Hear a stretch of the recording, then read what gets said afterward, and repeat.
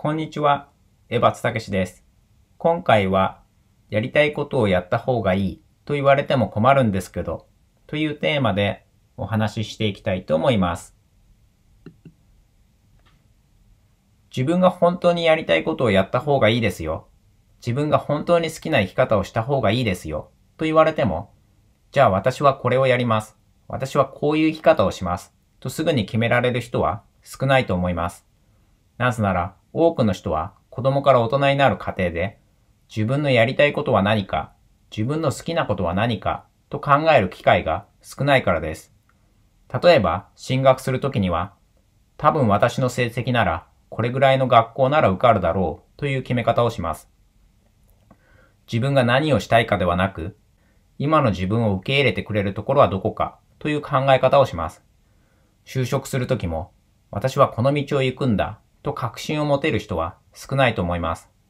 これぐらいの会社にしておけば大丈夫だろうぐらいの感覚で決める人が多いと思います。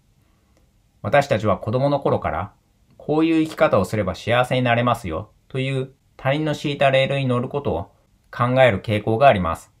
他人の作った価値観に自分を合わせようと考えがちです。あの人に受け入れられるために、あの学校に受け入れられるために、あの会社に受け入れられるために、自分を変えなければいけないんだ、となる傾向があります。他人が提示する条件に合わせることばかりを考えて、自分の心の声に耳を傾けることを忘れてしまいます。自分の心の声に気づかなければ、自分のやりたいことや好きなことがわからないのも当然のことです。例えば、私の場合も30歳を過ぎるまで自分のやりたいことや好きなことなど全く考えたことがありませんでした。高校を決めるときは、この学校ぐらいなら合格するだろうという感じで決めました。高校を卒業したときは、まだ働きたくないから大学にでも行って時間稼ぎをしようと思っていました。就職するときも、なんとなく決めてすぐに、これは違うって感じで辞めました。私は30代になるまで自分がやりたいことということをベースに自分のやることを決めたことがありませんでした。30歳を過ぎた頃、このままじゃまずいことになるかもしれないと焦り出した私は、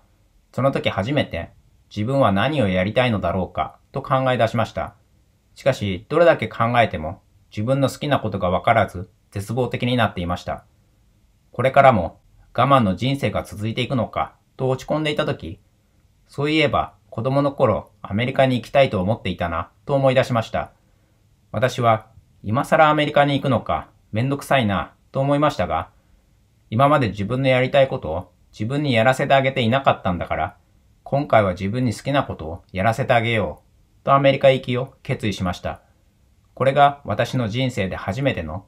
自分の心を満たすために自分で決めて自分で行動するという体験になりました。私たちの多くは物心がつく前から他人の敷いたレールに乗せられてしまいます。だからそのレールが自分の歩むべき唯一の道だと思い込んでしまうことがあります。これが失敗しない生き方ですよ。これが安定した生き方ですよ。と目の前に差し出されることで、自分の好きな生き方、自分のやりたいことをやる生き方という選択肢があることに気づくことができなくなります。他人の敷いたレールを進むことが当たり前になっている私たちにとって、自分の好きなことがわからないとなってしまうのは、ある意味当然のことだと思います。自分のやりたいこと、自分の好きなことを判断基準に人生の選択をするという経験がなければ、やりたいことがわからないのは当然のことです。だから、私は自分の好きなことがわからないんですと焦る必要はありません。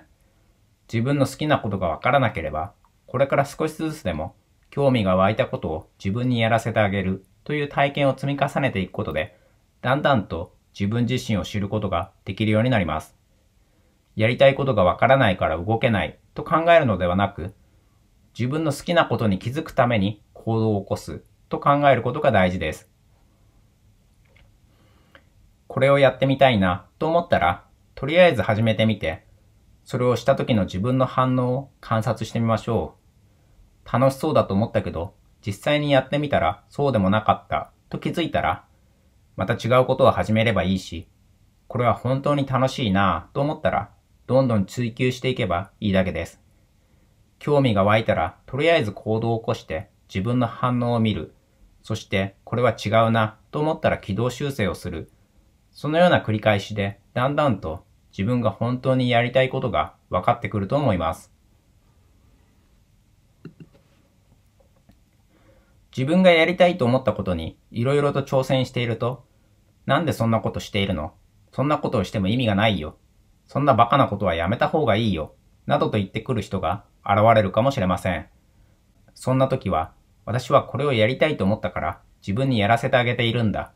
他人に何と言われようと自分に好きなことをやらせてあげるんだと思うようにしましょう。どれだけ他人に邪魔をされても自分の考えを貫くことでそんなことができる自分に自信を感じられるようになります。他人の言葉より自分の気持ちを大切にできる自分を誇らしく感じられるようになります。やりたいという気持ちを行動に移して損をすることはありません。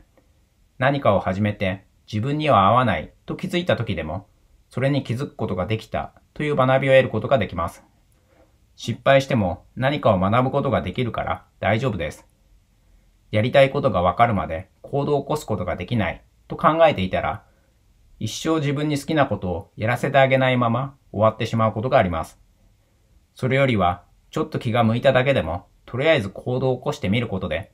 これは好きだった、これは嫌いだったと気づいていく方が現実的です。失敗すればするほど自分が本当に好きなことに気づくことができると考えて、どんどん行動を起こしていってほしいと思います。今回もご視聴していただきありがとうございます。もしこのチャンネルが役に立つと思ったらいろいろな人に勧めてもらえると嬉しいです。チャンネル登録もお願いします。では、素敵な一日を送っていきましょう。